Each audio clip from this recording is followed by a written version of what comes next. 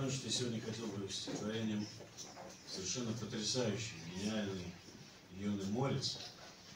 Оно, казалось бы, с одной стороны, наверное, не имеет прямого отношения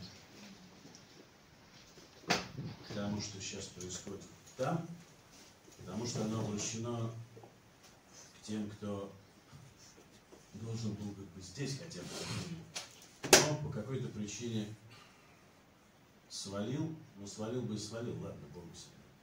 Они еще позволяют себе что-то говорить. Так вот, что по этому поводу написала потрясающая гениальная. Когда Москва, как римская волчица, вас выкормила волчьим молоком и вылезала волчьим языком амбиции ваших имена и лица, тогда не подло ли кусать ее сосцы, чтобы отличиться на своем культурном фронте? И сколько свинства не одеколонте, лишь свинством пахнут свинства образцы.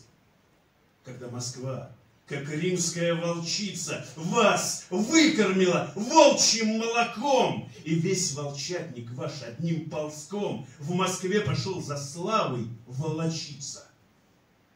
Тогда не ваше ли презрение к Москве, которая сегодня стала модой, является культурой волчьей морды в неблагодарной вашей?